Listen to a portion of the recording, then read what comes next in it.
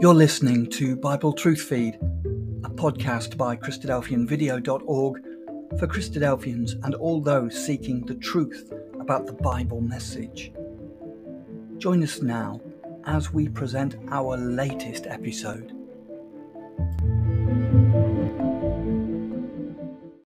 Hey, Bible students. Good to be with you again for another one of our videos. This one is on resurrection.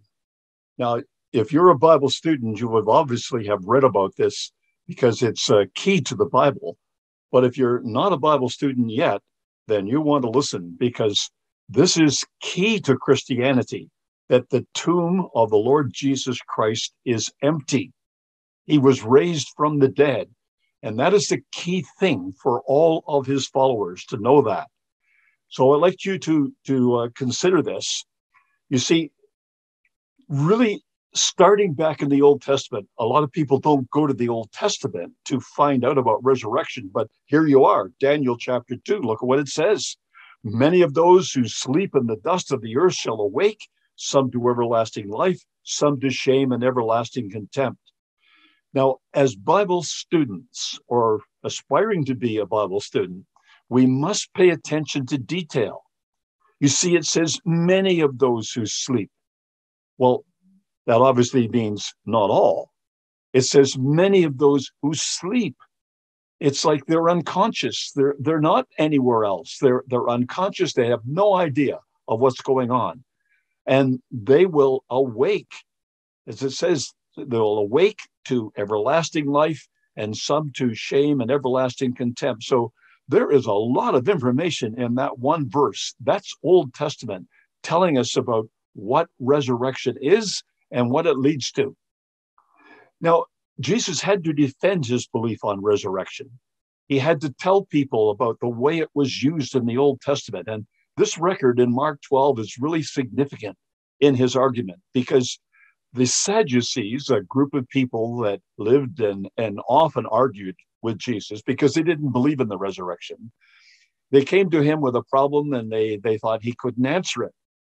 But Jesus did answer it. And look at what he said in Mark 12, verse 26 But concerning the dead, that they rise, have you not read in the book of Moses in the burning bush passage how God spoke to him, saying, I am the God of Abraham, the God of Isaac, and the God of Jacob?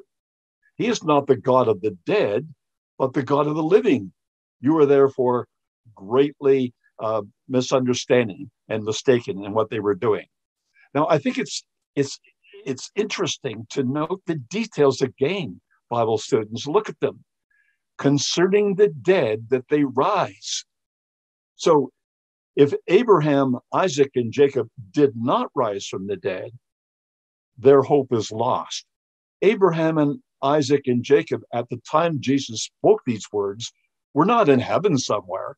They weren't enjoying themselves somewhere. They were dead. Here's the cave of Machpelah. You can see it there. That's where people go to see the tomb that, uh, you know, speaks about what happened to those patriarchs of Israel. So God will ri- raise them from the dead. And that was such a certainty that God, claiming to be the God of Isaac, uh, Abraham, Isaac, and Jacob, meant that they would rise again from the dead. Something the Sadducees didn't believe, but so you can see how Jesus answered them. So we need to look at, at this idea of resurrection for what it might mean to us. And I wanted you to see this passage, which, if you're a Bible student, you already know this passage. This is a key passage.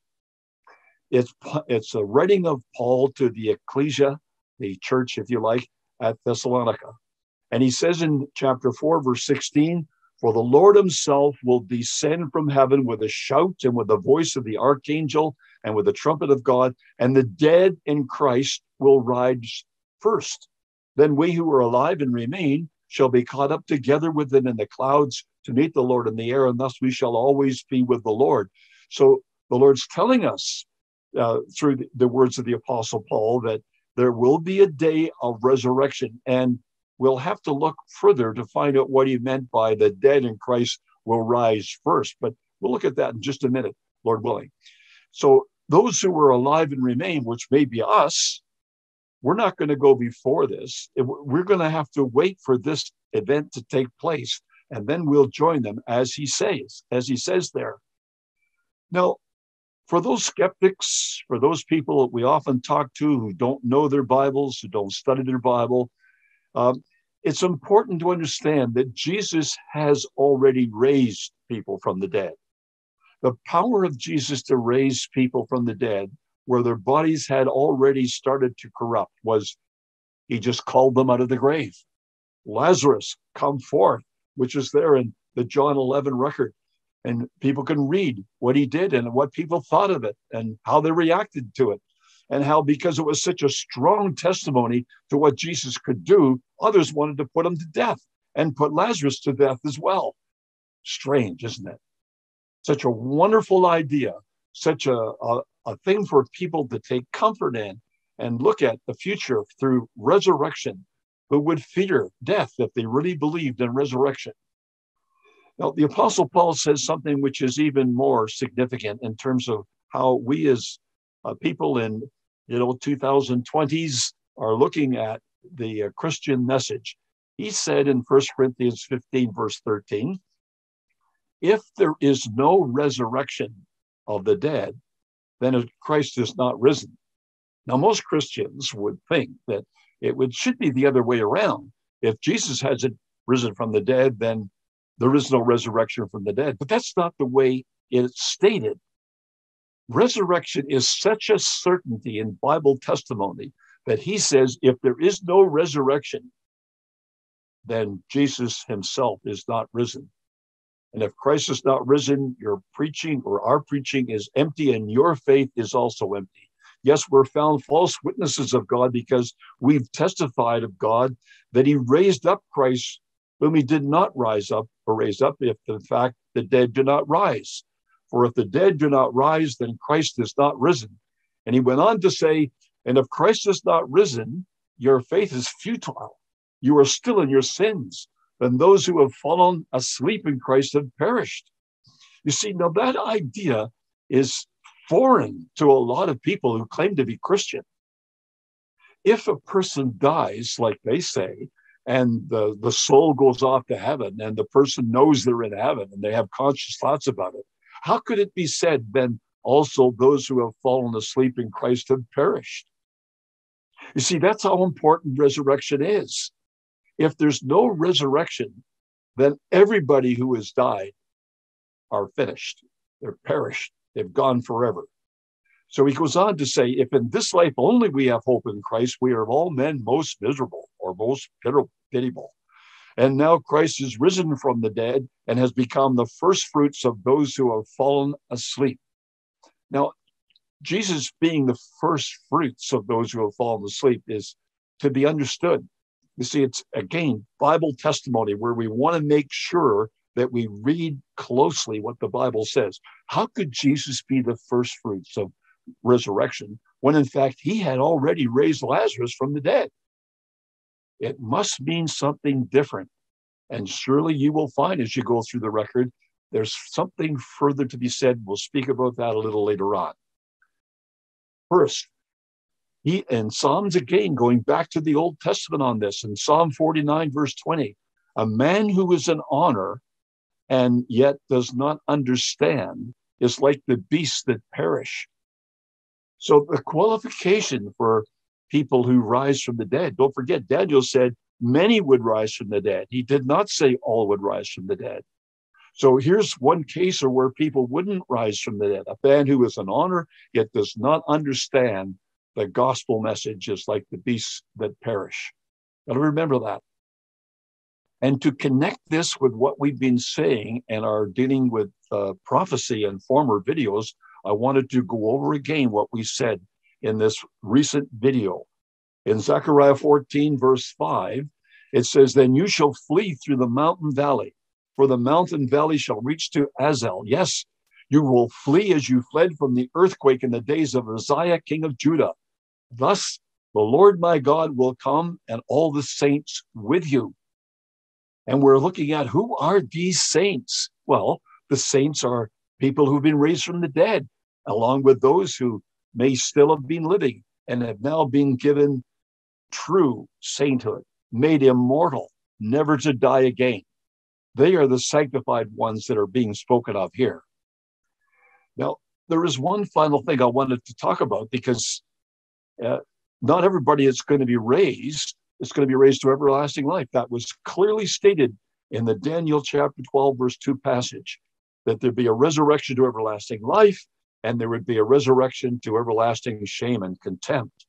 So we must all appear before the judgment seat of Christ, that each one may receive things done in the body according to that he has done, whether good or bad. That will take another short video to just outline what the Bible says about judgment. And before I leave, I want to talk to you, uh, uh, uh, just go through a, a, basic idea of what we said here, and then just tell you about what we want to plan or what we are planning for the next video and something we want to repeat in further videos. First of all, resurrection is a vital Bible teaching. It was taught in the Old Testament. Abraham, Isaac, and Jacob must be raised from the dead. The dead in Christ, that is, people related to Jesus Christ, will rise first, as, it's, as it indicates. Jesus Christ is the first fruit from the grave, in that he rose and then was granted immortality, first one. But not everyone will be raised. It happens before Armageddon, and resurrection leads to judgment. You can take that away from our video today. We were well based to go into our next one on the judgment. But before that, we've noticed that people have been asking questions and we haven't answered them.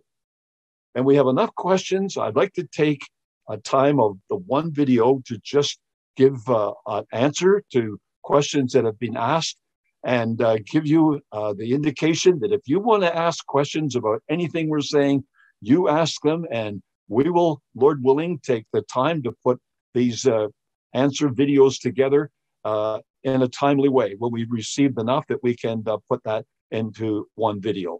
So, again, Bible students, thanks for watching, and may God bless your study of His Word.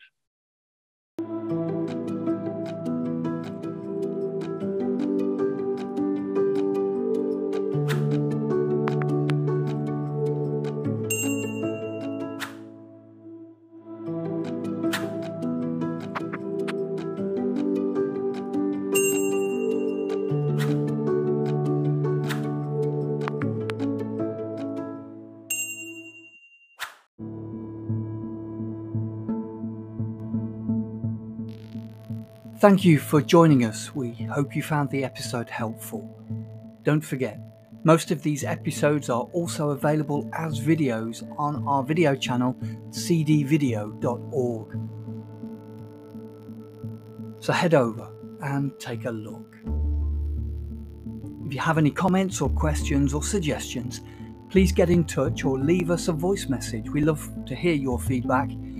You can email us at bt f at cdvideo.org. If you enjoyed the episode, then please share it with others. Until next time, may God bless you in your studies and your walk towards God's kingdom. Amen.